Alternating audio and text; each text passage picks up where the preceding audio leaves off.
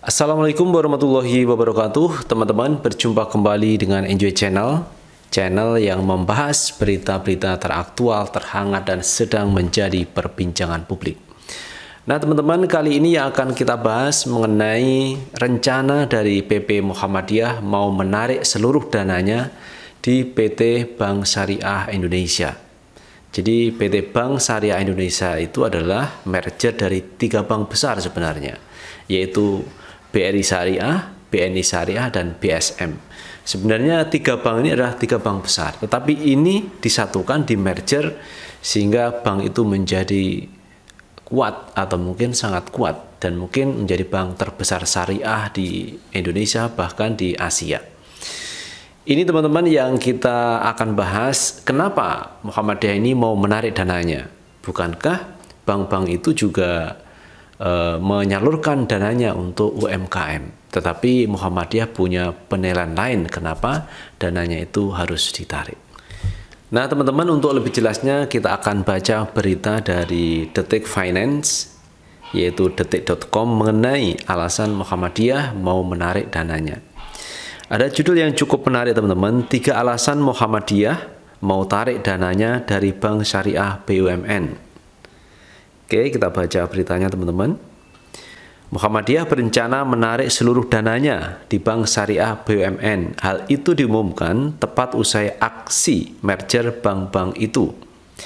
Sebagaimana diketahui, tiga bank syariah milik BUMN yaitu PT Bank BRI Syariah, TBK, PT Bank BNI Syariah, dan PT Bank Syariah Mandiri atau BSM sepakat merger menjadi Bank Syariah Indonesia. Jadi tiga bank itu merger. Merger artinya bergabung, teman-teman. Saya tidak tahu alasan kenapa bergabung. Karena kalau kita melihat bahwa PT Bank Syariah ini kan misalkan di BRI ini kan sudah besar. Kemudian di BNI itu juga besar. Kemudian di BSM itu juga besar karena memiliki cabang-cabang sampai ke daerah-daerah. Tetapi dengan adanya merger ini sebenarnya akan semakin kuat, seharusnya semakin kuat. Jadi kalau bersatu ini kita teguh, kalau bercerai kita runtuh. Jadi kalau tiga bank ini bersatu maka akan semakin kuat. Itu logika teman-teman. Logika yang ini sebenarnya masuk akal. Jadi daripada ini kecil-kecil lebih baik bersatu saja menjadi bank besar yaitu Bank Syariah Indonesia. Kemudian teman-teman Mungkin sudah waktunya bagi Muhammadiyah untuk menarik dan mengalihkan semua dana yang ditempatkan di bank tersebut, ujar Ketua Bidang Ekonomi PP Muhammadiyah Anwar Abbas dalam keterangan tertulisnya yang diterima detik.com Jumat 18 Desember 2020. Jadi menurut Pak Anwar Abbas sudah saatnya untuk menarik. Lalu apa alasan teman-teman sampai Muhammadiyah itu menarik dananya di Bank Syariah Indonesia itu? Kita lihat Pertama alasannya adalah mau dialihkan ke bank syariah kecil. Muhammadiyah berencana mengalihkan semua pembiayaan kepada bank-bank syariah lain yang berskala masih lebih kecil yang lebih menjangkau UMKM. Juga mengalihkan seluruh pembiayaan yang diterimanya kepada bank baru yang menjadi mitranya, apakah itu bank negara syariah yang tidak ikut merger, atau bank pembangunan daerah BPD syariah atau BPD yang unit syariahnya serta kepada bank-bank umum syariah atau bank-bank umum yang punya unit syariah ungkapnya. Jadi alasan yang pertama ini memang Muhammadiyah berencana mau mengalihkan dananya ke bank-bank syariah yang lebih kecil dibanding membiayai bank syariah yang besar seperti Bank Syariah Indonesia. Ini bank syariah yang cukup besar. Jadi Muhammadiyah mau mengambil dananya untuk ditempatkan di bank syariah yang kecil-kecil. Ini sebenarnya juga bagus teman-teman. Konsep dari Muhammadiyah itu untuk memberdayakan ekonomi umat, untuk memberdayakan bank-bank yang kecil agar lebih maju. Kalau sudah maju tentu ditarik saja. Untuk apa? Membiayai perusahaan yang sudah maju. Lebih baik dialihkan ke pembiayaan kepada bank syariah yang kecil agar mereka juga bisa maju tentunya. Namun kalau sudah maju tentunya Muhammadiyah juga tarik saja dananya kemudian dialihkan ke bank-bank kecil. Saya pikir ini lebih bijak daripada membiayai perusahaan besar, lebih baik membiayai perusahaan yang kecil.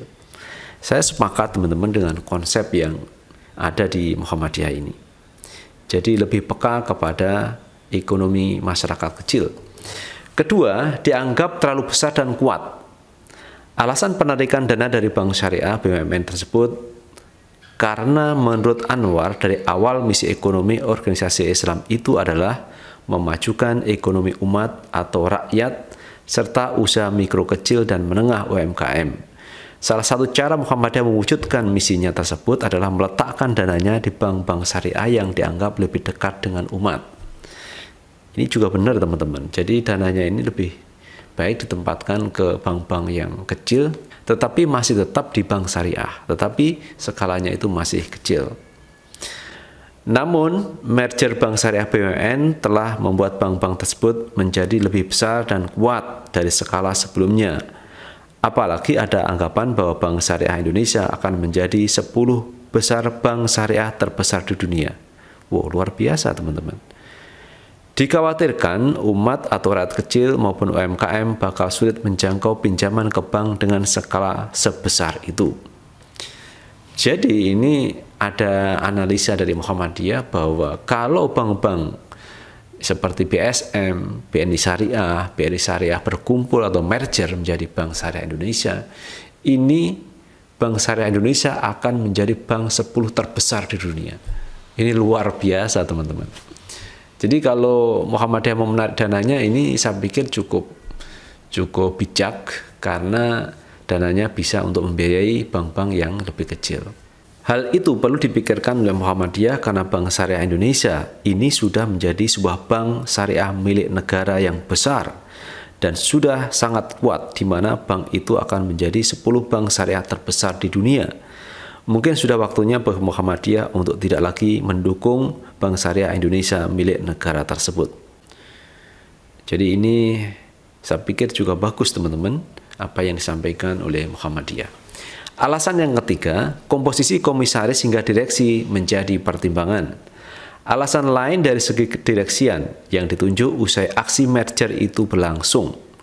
Melihat komposisi komisaris direksi dan DPS PT Bank Syariah Indonesia hasil merger yang baru diumumkan, maka mungkin Muhammadiyah sebaiknya melakukan pengkajian tentang hal tersebut ibunya. Kini Muhammadiyah berencana membentuk tim khusus dari para ahli keuangan, bankir, hingga mantan regulator untuk mempersiapkan rencana penarikan dana tersebut agar dana-dana itu bisa segera dialihkan ke bank syariah lainnya. Untuk itu kita harapkan tim ini segera dibentuk oleh pimpinan pusat Muhammadiyah supaya Muhammadiyah dalam waktu dekat atau dalam waktu yang tidak terlalu lama sudah bisa menarik memindahkan semua dana-dananya yang ada di Bank Syariah Indonesia hasil merger tersebut, baik dalam bentuk giro tabungan dan deposito dan memindahkannya kepada bank-bank syariah atau yang punya unit syariah yang menjadi mitra barunya yang mau memiliki komitmen bersama Muhammadiyah untuk memajukan ekonomi umat, ekonomi rakyat dan UMKM timbalnya. Itu teman-teman yang akan dilakukan oleh Muhammadiyah mau menarik dananya di Bank Syariah Indonesia, bank yang cukup besar karena merger dari tiga bank yaitu BNI Syariah, BRI Syariah, dan BSM. Nah, kalau sudah menjadi besar seperti itu memang dana-dana dari misalnya Muhammadiyah ini perlu juga ditarik untuk ditempatkan ke bank syariah yang skalanya lebih kecil dan ini cukup bagus teman-teman. Nah, kalau kita berbicara dengan Muhammadiyah, sebenarnya aset Muhammadiyah itu tidak hanya uang, teman-teman. Jadi aset Muhammadiyah itu kalau saya melihat beritanya bahwa seluruh aset dari mulai bawah, ranting, cabang, kemudian wilayah pusat ini dimiliki oleh PP Muhammadiyah. Jadi harta Muhammadiyah itu sebenarnya satu, dimiliki oleh PP Muhammadiyah. Dan ini adalah kekuatan yang cukup besar bagi Muhammadiyah karena asetnya memang cukup besar. Nah, selain uang yang ditempatkan di bank, ternyata punya aset yang cukup besar bagi uh, ormas sekelas Muhammadiyah. Dan saya juga saya pikir apa yang disampaikan Muhammadiyah cukup bagus di mana dananya ini ditarik untuk diberikan atau ditempatkan kepada bank-bank yang skalanya lebih kecil. Dan saya pikir Bank Syariah Indonesia akan terus berjalan dan besar karena memang sudah besar teman-teman. Gabungan dari tiga bank BUMN ini kan cukup luar biasa besarnya. Sehingga diprediksi memang Bank Syariah nanti akan menjadi 10 besar bank syariah dunia. Nah itu teman-teman terkait Muhammadiyah yang menarik dananya di Bank Syariah Indonesia. Dan bagaimana menurut pendapat teman-teman? Silahkan tulis di kolom komentar karena komentar teman-teman akan sangat bermanfaat untuk yang lain. Dan terakhir jangan lupa tetap like, subscribe, share, dan komen di channel ini agar kita bisa membangun channel ini menjadi lebih baik lagi. Sukses selalu. Assalamualaikum warahmatullahi wabarakatuh